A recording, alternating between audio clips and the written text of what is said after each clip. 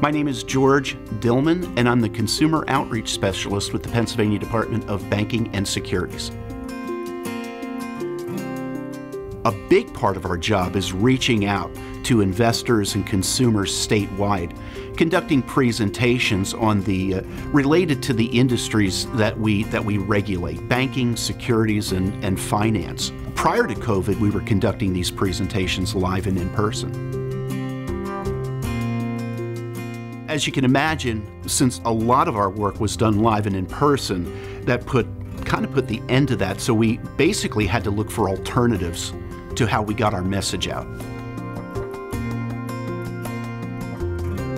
We looked at online platforms, several of which were offered through the Commonwealth, such as Microsoft Teams and WebEx, to continue getting our message out, to be able to, to continue doing our job, but doing it virtually online. There's over 600,000 reasons and counting why this virus wasn't a good thing. But if there's a silver lining for us, it's being able to get our message out to so many more people with, with the, these new online platforms. Doing them live and in person, I might have been able to, to do one or two workshops in a day. Virtually, I could do as many as five and six in a day and get that, again, get that message out to, to that many more people.